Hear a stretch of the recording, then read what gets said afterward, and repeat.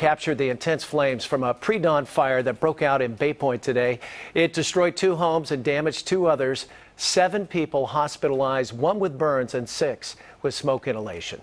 KPIX 5 reporter Kiet Do reports from the scene where investigators believe they know what triggered that fire. It, it must make you shake your head. You know, when you do this long enough, you don't, uh, things don't surprise you after a while. Investigators say somebody likely got high with the drug pipes and lighters they found inside this minivan and started a fire that nearly burned down the whole neighborhood. You know, sometimes people who are high will do stupid stuff.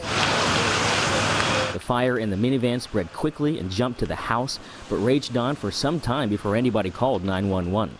The flames jumped to three more houses. It was a frantic evacuation as people ran through the heat and smoke and tried to fight the flames with garden hoses. Araceli Hurtado watched in horror as her own house burned.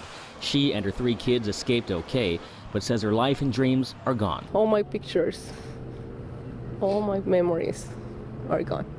Her sister Nuvia says she saw people doing drugs in the van at all hours of the day and called police multiple times. She says all this pain and suffering could have been prevented. Everybody was saw it coming.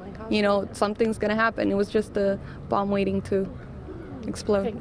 A total of seven people were injured, mostly with smoke inhalation, and one man suffered burns to his back. All injuries described as minor. Total cost of the damage, $850,000. In Bay Point, Kiet Do, KPIX 5.